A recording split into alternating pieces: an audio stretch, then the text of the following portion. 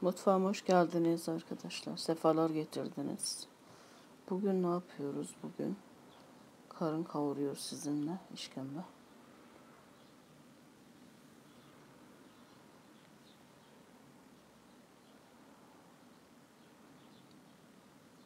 Şöyle malzemelerime geçiyorum. Şöyle bir yarım kilo kadar işkembem var.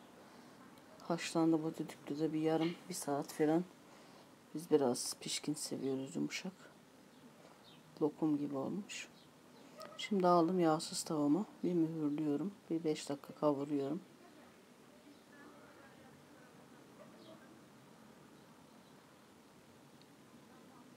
Şimdi tereyağı ekliyorum.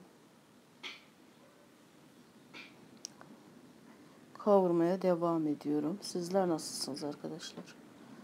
Umarım iyidir sağlığınız, saatiniz. Neler yaptınız? Hayat nasıl gidiyor? Hayat çok sıcak gidiyor ya. Havalar ısınmaya başladı. Bayağı bir kavruldu artık. Şöyle.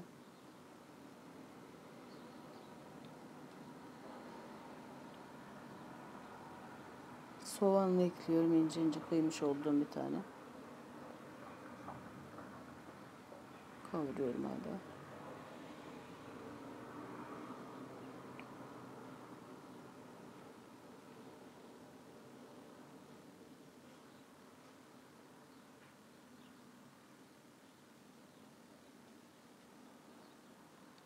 Zaten olmak üzere güzel haşlandığı için şöyle sarımsak ve bir tane yeşil biberim var onu ekliyorum. Sarımsak gerçekten güzel aroma veriyor.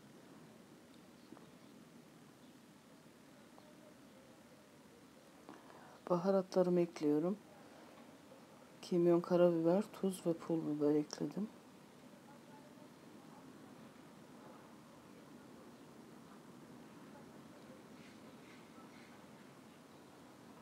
Olmak üzere artık.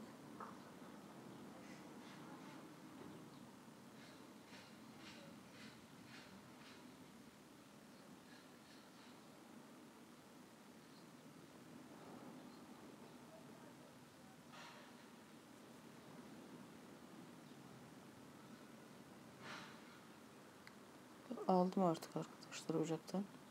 Kekik ekliyorum indirdikten sonra. Pişince gerçekten acılık veriyor, lezzetini bozuyor. Hemen indirdim, sıcağını ekliyorum, daha bir lezzetli oluyor. Kekik ama gerçekten yakışıyor. Hepinize ayrı ayrı teşekkür ediyorum bu arada. Şöyle aldım artık tabağıma.